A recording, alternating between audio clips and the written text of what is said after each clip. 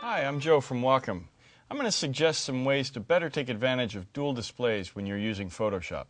In Photoshop, most people want the ability to retouch an image on one screen and at the same time see the results on the other monitor. I'm assuming at this point that one of your displays is a Cintiq and that it's set up as your primary display, so that's the display on which you'd like to do your detailed work. If you need help setting up your Cintiq as primary, please take a look at the video on setting up and installing your Cintiq. Let's get this set up. First, open your image in Photoshop.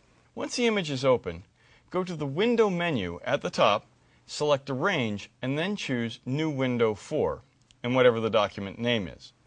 You may not have seen anything change. If you need to, hit the F key on your keyboard until your images are both shown in their own windows. Put your pen on the title bar of one of the images then hit the button that is currently assigned to Display Toggle on your Cintiq.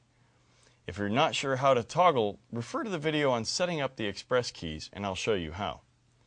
Now you're controlling the pen on both displays, so you can take that image and move it over to the other display. Once there, simply hit the F key on the keyboard to make the background go away. Or if you like a black background, simply hit F again.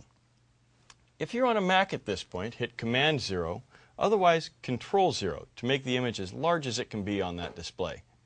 Now come back to the other display by hitting the display toggle button again and then touching the display anywhere. Hit the F key again to go full screen mode. Now I can work on this image at whatever zoom level I like and still see the overall effect on this display in full screen mode. There you go. It's very handy if you're a Photoshop user with dual displays. If you want to learn more about using a Cintiq with another display, watch the other videos at Wacom.com such as configuring dual displays and mirroring and cloning. And if you have technical questions, visit Wacom Product Support online at www.wacom.com.